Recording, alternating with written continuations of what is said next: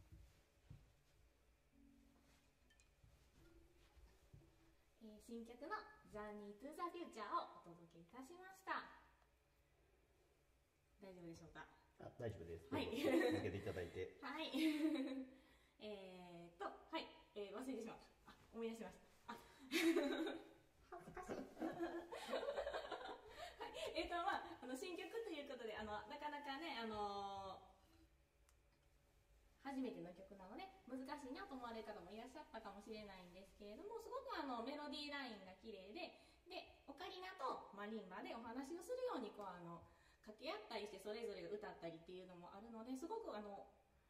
演奏しがいのある ちょっと弾いてるとあの特に私の方のパートは私自身が背が低いので結構手を頑張って伸ばして弾かないといけないことがたくさんあって大変なんですけれども、まあ、いい修行をさせていただいているなと思っております。浅香さんまた曲書いてください。お願いします。そんなこんなで、まあ、あのやっぱり、えー、と作曲家が作ってもら作ってくださった曲っていうのは私たちが考えるようなことではないね、えー、とアレンジだったりメロディーラインっていうのを作ってくださるのがすごく面白いなと思います。またね、えー、と新曲も挑戦していきたいと思ってますのであの楽しんでいただけたらと思いますで次に、えーお届けします曲は「えー、と見上げてごらん夜の星を」です1960年に初演されたミュージカルの、えー劇中主題歌です。で1963年に、えー、と坂本九さんがカバーして大ヒットした曲です。実はこれも佐々木さんのねアレンジなんです。で、えー、なんで笑うのそんなに強調しなくても大丈夫です。あそうですか、失礼しました。はい、えー、まあ、そんなこんなで、そんなこんな？えー、あ、突っ込まれる前がちょっと。あ、そうです、思い出しました。えー、そう、佐々木さんが、あの、そうです、結成してすぐぐらいに、えっ、と、アレンジしてくださった曲でして。で、あの、すごく久しぶりに。弾いていたんですけれどもなんか今とだいぶアレンジの感じが違うのでそちらもね楽しんでいただけたらと思いますでイメージとしてはなんかあの星がキラキラと輝いているようななんかそんな雰囲気のするアレンジだなと思っております。それでは見上げてごらん夜の星をお聴きください「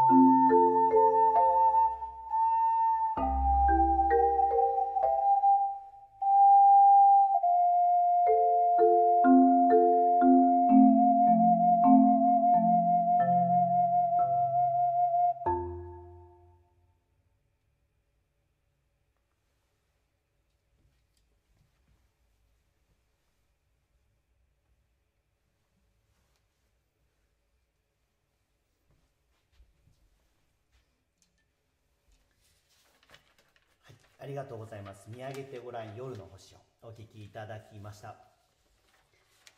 あの今日は急にやろうって決めてあの、まあ、連絡できるところには連絡はさせていただいたんですけど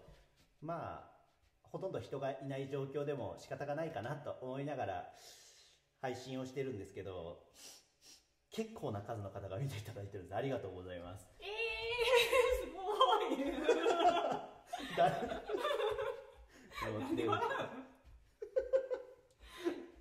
いやいやあのフレームからいなくなってなんか用意してるわと思ったら急に帰ってきて手を振ったんでそれはちょっと面白かっただけです。すいません。ちょっと今日あのバチがちょっと遠いところに用意してあるのでたまにいなくなります。すいませんね、演奏してる時もちょっとあのカメラの画角の関係でマリンバ上の方弾いてると多分一瞬いなくなってるとは思うんですよね。そうなんです。特に「ジャーニー・トゥ・ザ・フューチャー」のすごい忙しい頑張ってるとこが全然映らないっていう。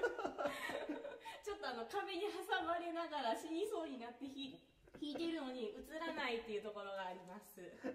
はい、はい。えー高い位置を見たい方はぜひコンサートでという感じで。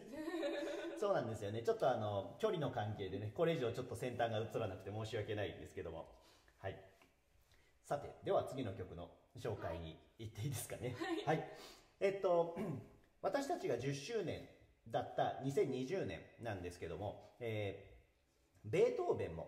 生誕250周年だったんですよね。ちょうどそこがかぶってたんでもうこれはベートーベンやるっきゃないでしょうと思って、えっと10周年のコンサートのにベートーベンを入れたんですけど、まあ、よくよく考えると今2021年になりましたんで、まあ、ベートーベンも生誕251年だし我々も11年目なんでもう何もなんかキリよくなくなってるんですけど、まあ、そこは多めに見ていただくということで、えっと去年の11月からのツアーの一環ということで、えーベートーベンの曲を1曲演奏させていただきたいと思います。で演奏する曲は「エリーゼのために」という曲がねピアノ曲で有名な曲があるんですけどもその曲を、えー、とジャズの鍵盤楽器奏者ですかね。ハリー・ブロイヤーさんという方が、えーアレンジをした「アンコール・エリーゼ」っていう、えーアレンジがあるんですけどもそれを元にしたさらにアレンジで私たちは演奏してみたいと思いますので、えー、と最初は割と普通のエリーゼのためにらしく始まるんですけど途中からすごいノリノリになっていきますので そのあたりを楽しんでいただけると、えーいいかなと思います。それでは「アンコール・エリーゼ」お聴きください、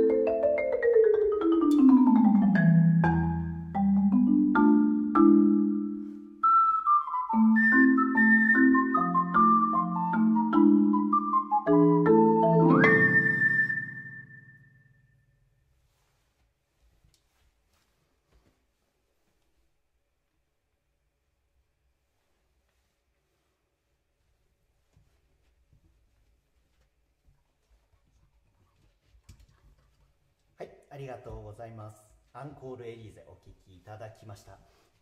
最初は穏やかなんですけどね、だんだんなんか激しいエリーゼが登場してくる感じのアレンジになっていたかなと思います。なかなかね、忙しい感じの曲なんですけども。そして皆さん、チャットたくさんありがとうございます。なんか、喋ってるとなかなかね、えっ、と、なんていうんですかね、なんかよ見ながら喋るのなかなか難しいんですけど、すいません、ちょっと喋りながらちょっとだけ読ませていただきます。はい、見ていただいている方はぜひぜひあのコメントを残していただくかチャットを書いていただくと。後で終わった後必ず一通り絶対読みますんで、えーまた書いておいていただけると嬉しいです。ちょうどなんか喋ってるタイミングぐらいに流れてくると、えー、ちらっと見れてえーそのお話ができるかなとは思うんですけど大体さっきちょっと調べてみたんですけどこちらで演奏してるのとおそらく10秒ぐらいは誤差があるんじゃないかなという気がするんで。でなんでおそらくあの即座に書いていただいて多分10秒15秒とか多分ズレがあるんじゃないかなという気がしますのでなんかいいタイミングで書いていただくとちょうど読めるタイミングが来るかもしれないですね。はい。では次の紹介をお願いしていいですか？はい。はい、すいません。ちょっとね準備が私の方がかかるのでちょっとつなぎで今喋ってもらいました。というわけで、えっと、次があの本日の最後の曲になります。まああの10周年と一応ね今日は本はできなかったんですけどまあ一応10周年になったし。なったし？10周年 まあ、せっかくなんで、まあね、今日はあのこうやって配信させていただくということになりましてやっぱりあの思い一番演奏している曲を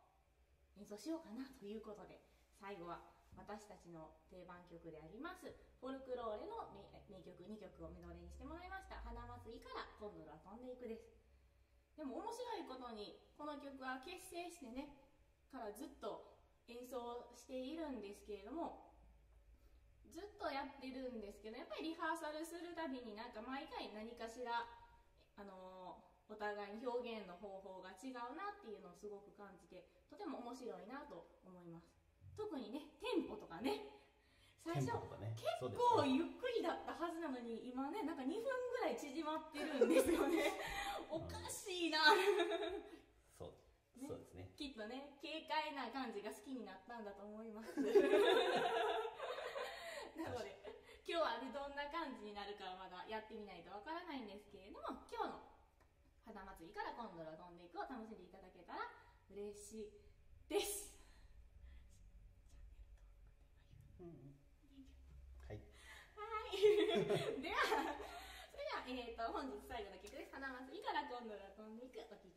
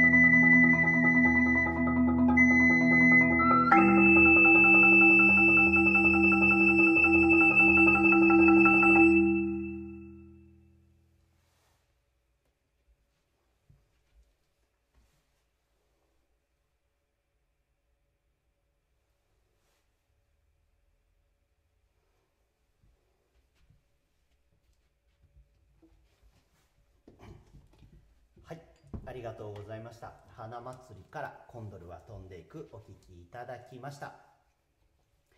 で、えーと、ちょっとここでお知らせをさせていただきたいと思うんですけども あのホームページの方にもすでに載せさせてはいただいてるんですけども2月28日の日曜日ですかねの、えー、14時に、えー、YouTube に新しく、えー、配信コンサートの動画を、えー、アップをさせていただくことにえー、なっております。で、これは、えー、大阪府豊中市の、えー、文化芸術活動支援助成金というね、もうなんか、もう噛みそうになるんですけども という助成金の交付団体に我々が選んでいただきまして、えー、とその、え交付金を使わせていただいて、あの配信のコンサートを行うというものなんですけども、それに関してはライブ配信ではなく事前に録画したものを編集してアップロードさせていただくということになっておりますので2月28日の2時以降であれば、まあ、いつでも見ていただけるようになっていますので、えー、まあ、森の田のホームページではからは飛べるようにしておきますし、えーと、今ご覧いただいている YouTube のチャンネルに動画は上がりますのでこの動画はあこのチャンネルを登録チャンネル登録しておいていただくとおそらく通知がいくと思いますので、えどちらかでえまた見ていただけると嬉しいなと思います。お願いしますはい、そして皆さんコメントをいっぱいありがとうございます。はいありがとうございますマリンバ素敵って書いてあります。イエイ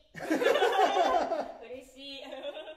はい、あ、ありがとうございます。アンコールを書いていただいている方がおられます。ね、普段だと 会話をしながらここつなぐところなんですけどね。えっと 皆さんコメントありがとうございますあ。りがとうございますはい。アンコールのコメントをいただいておりますので、ねもう一曲だけでは演奏させていただいて、はいえー配信を終了にさせていただきたいと思います。じゃあ曲紹介はお願いします。ちょとだけお待ちください。すみません。ちょっとあの配信のために換気扇を切っているので、ちょっと酸素が薄くて、ちょっとあの喋る時にちょっと脳みそが回ってなくて、ちょっと言葉が出てこないことがたくさんあって、本当に今日はすみません。恥ずかしいな。ということで、はい、すみません、準備ができましたので、少し、えー次の曲のお話を少しだけさせていただきたいと思います。えー、と本日1月17日は私たちの10周年の記念コンサートの日だったんですけれども、それもありますけど、やはり今日1月17日といえば、やっぱり阪神・淡路大震災から26年というやっぱり大切な日かなと思います。で、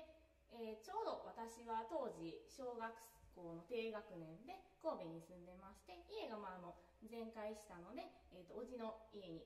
家族みんなで避難をさせてもらいました。でそうですね、えーやっぱり1月17日1月17日になりますとやっぱりその時のことを思い出しますしやっぱりどんだけ街が綺麗になったとしてもきっと一生忘れることはないしいっぱい1月17日になるとその日のことを思い出すかなと思います。で今日はやっぱりその大切な日ですのでその震災で生まれた曲を演奏したいと思います。最後にアンコールで演奏させていただきますのは「えー幸せ運べるように」です。でこの曲はちょうど本日より、えー、と神戸市の第二の神戸市歌神戸市の歌になったそうです。その音楽を通して、えー、と震災が風化されないことを願ってっていう思いから幸せ運べるようにが、えー、と神戸市の歌になったとのことでした。で、えー、とこの曲の2番の歌詞がすごい素敵だなと思ってましてでどんな歌詞かっていうとその、えー、と優しい春の光のような、えー未来を夢見っていうところがあって今このご時世で、えー、と我慢しないといけないことがあったりしんどいことがあったり諦めないといけないことがあったりと大変な状況やと思うんですけれどもやっぱりあのこの曲のこの歌詞の部分のようにきっといつか必ず優しい春の光のような素敵な未来がやってくると信じたいですしやっぱりこの曲を通して皆さんが、えー、と少しでも気持ちが、えー、と穏やかになったり優しい気持ちになったら嬉しいなと思います。で今のこの現状もそうですしやっぱり震災の時のことを思うと、えー全てはやっぱり当たり前ではないなっていうのを感じます。私たち自身もやっぱり演奏をすることっていうのがあの当たり前じゃないですしできることにやっぱり感謝ですしこうやって聞いてくださる皆さんがたくさんいらっしゃるっていうことにも本当に感謝です。ありがとうございます。今日は感謝の気持ちを込めて演奏させていただきたいと思います。で 亡くなった方々にご冥福の